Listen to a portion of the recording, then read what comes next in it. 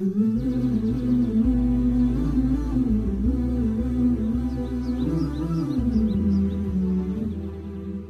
alaikum, everyone, and welcome to In Balance, a podcast where we explore how faith and health, both physical and mental, intertwine in our daily lives and how we can finally find balance as Muslims.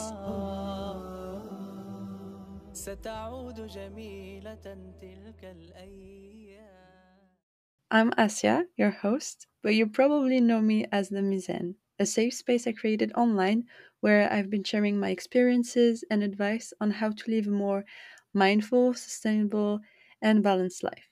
At this point, you're probably going to think that girl is obsessed with the concept of balance, especially considering that El Mizan in Arabic literally translates as the balance. And although, yes, I, I, do like things to be branded accordingly, I genuinely feel like that is too often forgotten about as Muslims. I've never shared this in details before, but let me tell you the real backstory behind all of this. So let's go back to February 15th, 2020.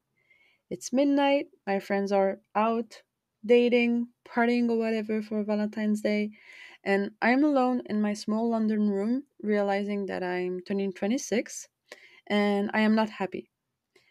And as for all my birthdays, I started to have a bit of an existential crisis.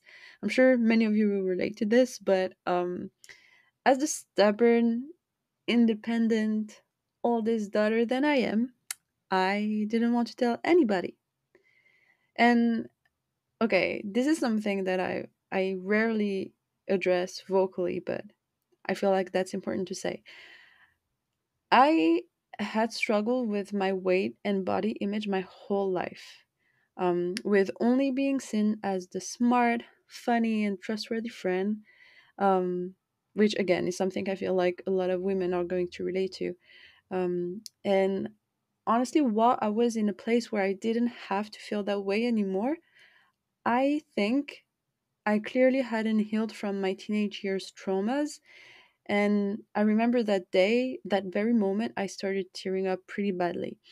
And I started asking myself typical questions like, why am I 26 and still not married? Why am I stuck in a body I don't like? Why am I not thin? Why is no man capable of loving me or appreciating the fact that I am serious and value marriage so much? And then it got to a point where I was just criticizing everything I didn't like about my life. For example, I was asking myself things like, why don't I have as much money as those around me? Because I used to be in places where, or I, should say, schools where there were a lot of wealthy people. It's been the case most of my life. Or I also asked myself, why is everyone so neglectful of religion, Islam, and that was because every time I would meet someone that is Muslim, the person didn't hold Islam as close to their heart as I did. And I didn't understand why Allah would put me in such situations and challenge me so much. And I think I was so overwhelmed by this negativism. Is that even a word in English? I'm sorry, you guys. I, th- I think you, most of you know this, but I am French. So sometimes I just say things, and I'm not even sure if the word exists in in English, but hopefully, inshallah, they it it does. so, yeah, I was overwhelmed by all this negativism, and honestly, I I felt very depressed. I, I I didn't even focus on what I had actually achieved and the things I was proud of when everyone was so supportive. I, I just I just didn't care. I only focused on the things I didn't have and didn't like. But you know what, subhanAllah, I think deep down I was feeling a sense of guilt. And that day, I remember it wasn't time to pray, but I did something that I, I, I have always done whenever I I just reached a low point in my life, and that was talking to Allah. So I remember I got up, I took my my prayer rug, and I I don't even remember if I prayed or not, honestly, but I think I just I just went to sujud and started crying. And I feel like this is again something a lot of people will relate to because sujud is like magical, subhanAllah. You, you're just going to put your head on the ground and you feel so vulnerable, but also so close to your Lord, subhanAllah. And um, that's I remember that's what I did today, but I think I was crying so much that night that I don't remember everything exactly. The one thing I would say though is that this time was very different for me. So I am not going to tell you that my sadness magically disappeared. And well, this is something that we will address throughout the podcast. You are allowed to have these emotions, and even the prophets had them, you know. So it's okay to to feel that way. You you at the end of the day, you are just human.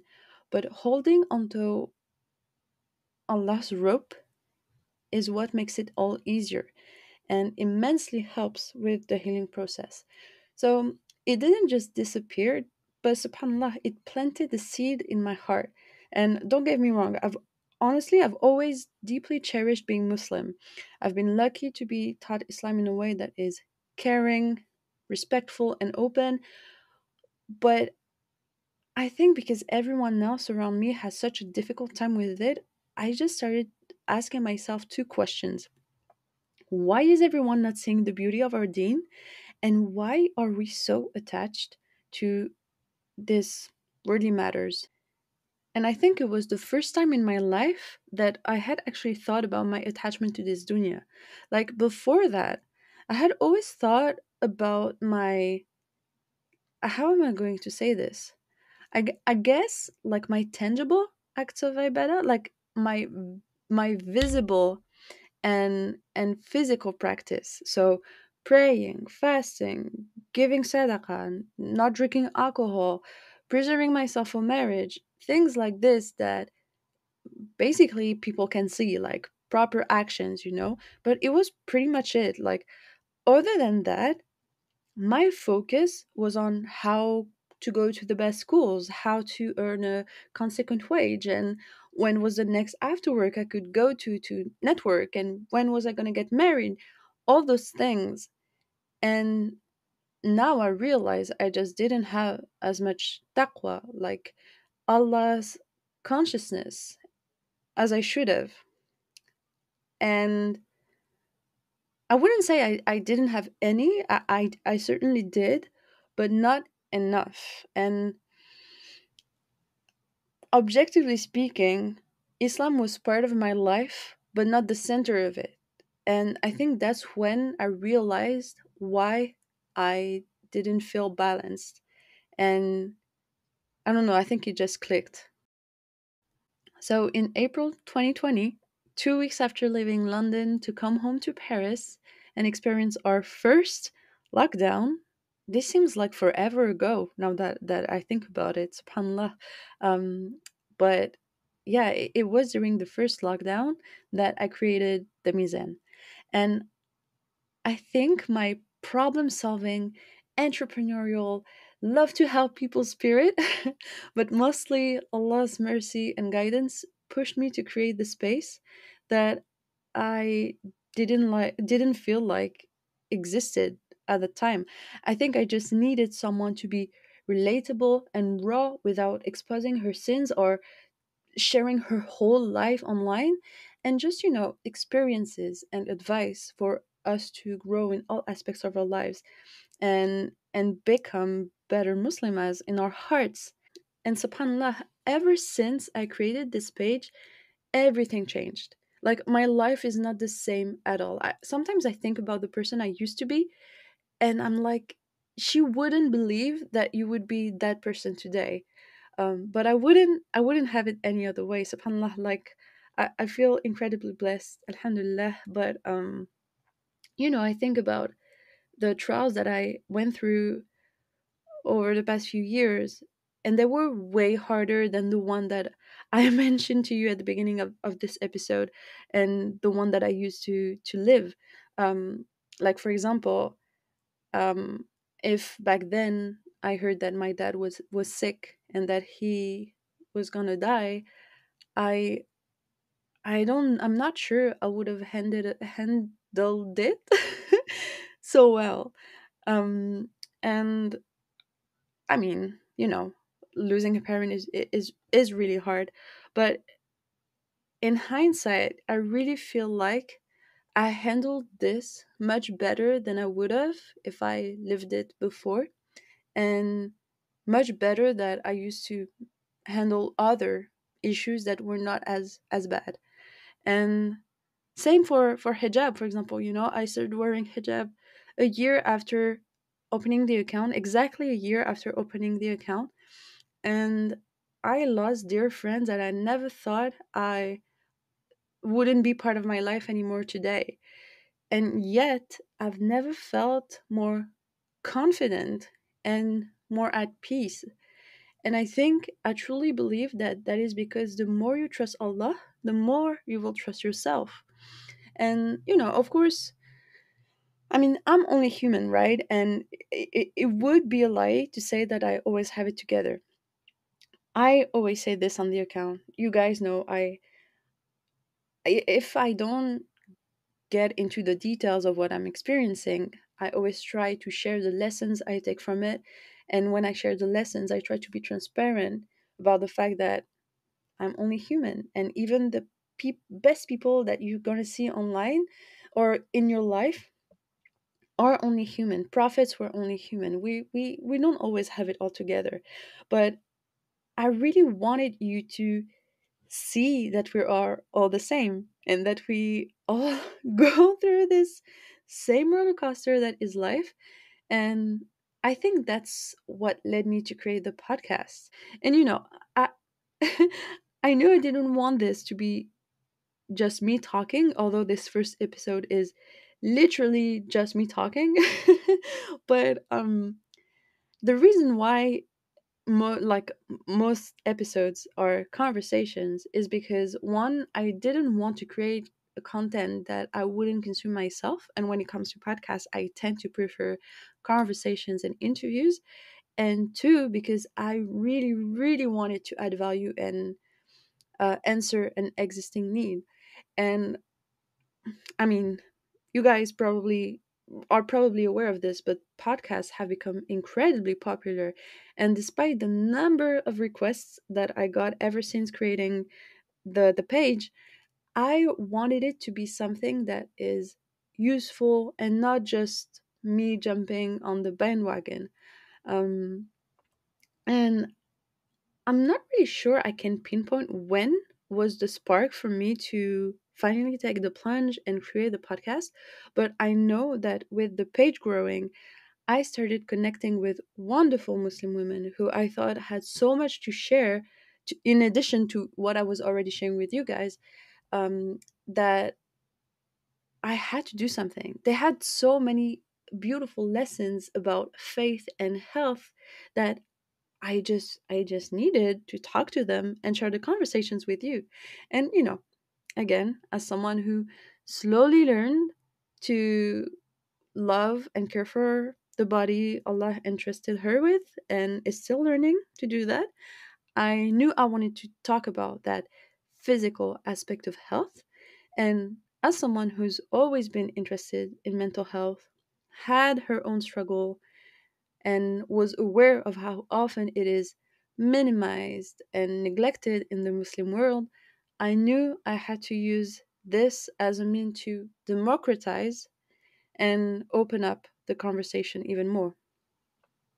And and all of this, which I like to think is a holistic approach to life as a Muslima, um, really aligns with with my mission to grow with my sisters from all around the world, but most importantly, represents what Islam is about.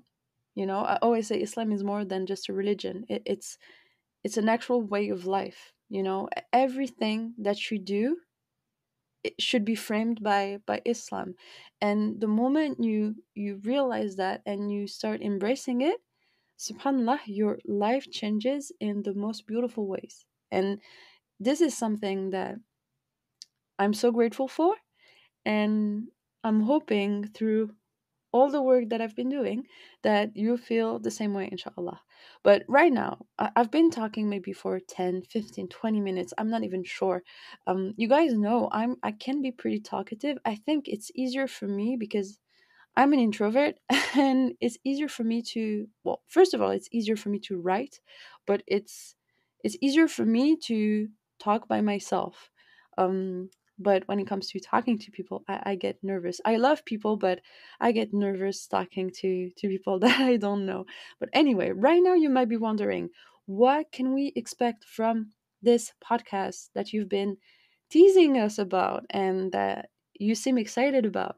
I'm excited but nervous. Um, but this season, we are going to talk about an array of different things from spiritual topics like reverting to Islam, self confidence, dealing with spiritual ruts, to heartbreak, healing from past trauma, um, but also things like dealing with sexual desires, nutrition, and high discipline in physical performances. Honestly, In Balance is truly about finding yourself, bonding with Allah subhanahu wa ta'ala, and embracing the blessing it is to be a Muslim woman. Um, this is something that I I say a lot, you know, but knowing your value as a Muslimah can be hard, uh, especially in a world that is dominated by men. But Islam teaches us every day that we are special and that Allah gives His toughest battles to His toughest soldiers. And when you think about it that way, you can realize how much He loves us, subhanAllah. But um, when I say this, I always feel like I need to, I need to say that um, please don't get me wrong, because this is absolutely not me saying that we are better than men. And I always say that there's a reason why Allah says in the Quran that He created us in pairs. We truly complete each other and we should learn to grow together. Um, you know, if you know me, you know how romantic I am, you know how much I love to talk about love, um, and how excited I am to be with the one Allah chose for me, inshallah. But um, right now, honestly, I'm thinking about my dad because, and I'm gonna try to not get emotional um, here, but I will forever be grateful for him, uh, Allah yarahmu, because he was a real man who always supported me, who truly never failed to show his love to us and never made us feel like less because we are women.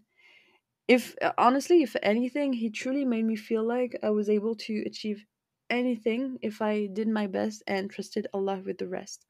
But one of the things I loved most about my dad was that he was a beautiful example of giving without expecting to receive. Um, and this is something that I really admired in him and a trait that I hope I, I, I took from him in some ways. But subhanAllah, it, it is truly when you don't expect it that Allah gives back to you. And, you know, Allah has done that to me with the page. And I have absolutely no doubt that He will do that with this podcast too, inshallah. So I truly pray that you will love this season as much as I enjoyed working on it and recording it. I hope you will feel inspired in many ways by the incredible sisters I'll be chatting with, inshallah. And I ask Allah to bless our lives in the most beautiful ways, to increase our knowledge, and of course, I had to finish on that note to allow us to finally find balance, inshallah. Assalamu alaikum, everyone.